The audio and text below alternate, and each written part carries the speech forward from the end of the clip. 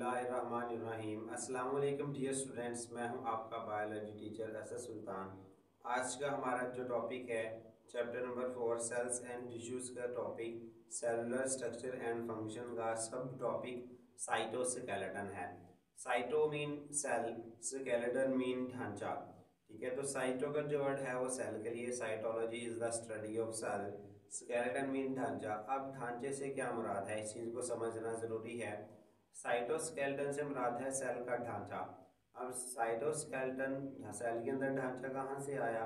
ठीक है तो ये ऐसा नहीं है कि जिस तरह एक इंसान के अंदर या किसी भी जानवर के अंदर जो हड्डियों का ढांचा होता है, उसी तरह का एक ढांचा हर सेल के अंदर मौजूद होता है। नहीं, साइटोस्केल्टन से मुराद, यानी वो चीज़ है जो सेल को उसकी शेप दे रही है। किसी भी जानदार के अंदर जो जो किसी भी सेल को जो शेप किसी भी जानदार को जो शेप देती है, वो असल में उसका स्केलेटन है। हम ऐसे नज़र आते हैं सिर्फ़ हमारे स्केलेटन की वजह से। अगर हमारे अंदर से हड्डियों का ढांचा निकाल लिया जाए तो हम सिर्फ़ एक गोश्त का ढेर बाकी रह जाएँ ठीक है, अगर हमारे पास डिफरेंट जो है, वो स्केल्टन्स है अगर फॉर एग्जांपल किसी इंसान के अंदर से, किसी काऊ के अंदर से, किसी डॉग के अंदर से, या किसी कैट के अंदर से अगर हम ढांचा निकाल दें तो फिर हमारे पास सिर्फ़ गोश्त पड़ा हो तो हम नहीं पहचान सकते कि ये किसका गोश्त है ये किसके गोश्त का ढेर है। लेकिन दूसरी तरफ़ अगर हमारे पास एक इंसान का ढांचा हो, एक गाय या भैंस का ढांचा हो, एक डॉग का ढांचा हो, या किसी और जानदार का ढांचा हो तो हम उस ढांचे से उसकी शेप का पता चला सकते हैं कि इंसान का है या किसी और जानवर का है। तो असल में जो किसी भी जानदार की शेप होती है, शक्ल होती है, वो उसके ढांचे की वजह से यानी स्केलेटन की वजह से होती है। तो साइटोस्केलेटन से मुराद वो चीज़ है जो उसकी शक्ल को मेंटेन या चेंज करती है। अब वो क्या चीज़ है? साइटोस्केलेटन जो है, वो असल में एक नेटवर्क है। एक जो है हमारे पास जाल है माइक्रोफिलामेंट्स एंड माइक्रोट्यूब्यूल्स का। ठीक है? माइक्रोट्यूब्यूल्स और माइक्रोफिलामेंट्स का एक जाल होता है। माइक्रोट्यूब्यूल्स और माइक्रोफिलामेंट्स क्या हैं? डिफरेंस के तौर पर इनमें शॉर्ट क्वेश्चन आते हैं।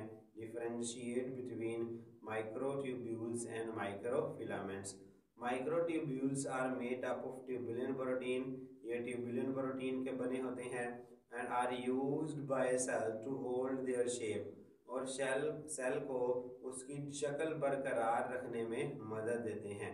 Microtubules are major component of cilia and flagella chapter number one के अंदर मैंने आपको बताया था कि ये वर्ड हम आगे पढ़ेंगे। ठीक है अमेबा के अंदर पैरामीशियम यूग्लिना यूनिसेलर ऑर्गेनिज्म जो हमने पढ़े थे तो उसके अंदर हमने देखा था जो पैरामीशियम है, ठीक, उसके अंदर छोटे छोटे उसके बाहर की जानिब हेयर लाइक स्ट्रक्चर बाल नमा छोटी छोटी साख्तें मौजूद होती हैं, जिसके अंदर ये वो हरकत करते हैं, उनको हम सीलिया कहते हैं।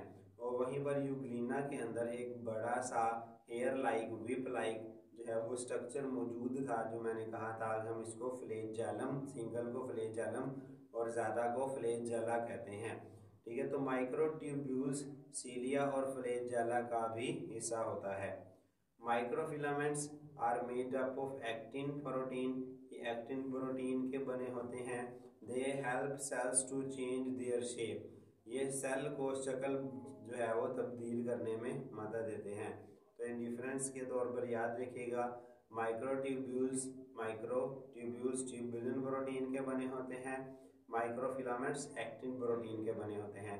माइक्रो माइक्रोट्यूब्यूल सेल को शक्ल बरकरार रखने में मदद देते हैं माइक्रोफिलामेंट सेल को शक्ल चेंज करने में, तब्दील करने में मदद देते हैं। माइक्रोट्यूब्यूल्स जो हैं, ये थिक होते हैं साइज़ में मोटे होते हैं। वाइल माइक्रोफिलामेंट्स आर थिन ये जो है वो बारीक होते हैं।